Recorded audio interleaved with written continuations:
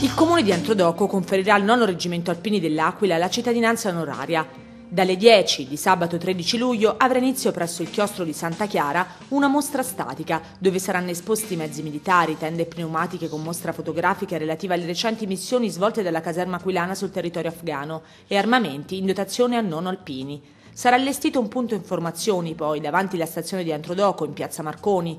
Si potrà visitare la chiesa di Santa Maria Extramenia, il museo della città Lindelia Carlo Cesi e il museo storico alpino che sarà aperto dalle 10.30 alle 19.30. Dalle 16.50 inizierà la sfilata lungo le vie di Antrodoco, sfilata aperta dalle Majorette Centro Italia, seguite dalla banda ACMA di Antrodoco, dai bambini delle scuole, da una piccola rappresentanza del centro anziani con le divise Un nonno per amico. Naturalmente ci saranno rappresentanti dell'Associazione Nazionale Alpini, poi ci saranno i mezzi e gli agenti del Corpo Forestale dello Stato a cavallo e un plotone della 119 Compagnia del Nono Alpini, con in testa la fanfara di Castel Sant'Angelo, seguiti da un plotone della Scuola Forestale di Città Ducale e da tutte le associazioni in congedo.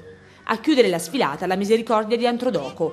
In piazza 4 novembre invece si terrà la consegna della pergamena della cittadinanza onoraria agli alpini e della targa alla famiglia del maresciallo capo Luca Polsinelli, alpino del nono reggimento scomparsa a Kabul nella missione del 2006. Ancora un segno di affetto tangibile questo verso i nostri alpini, orgoglio della città dell'Aquila.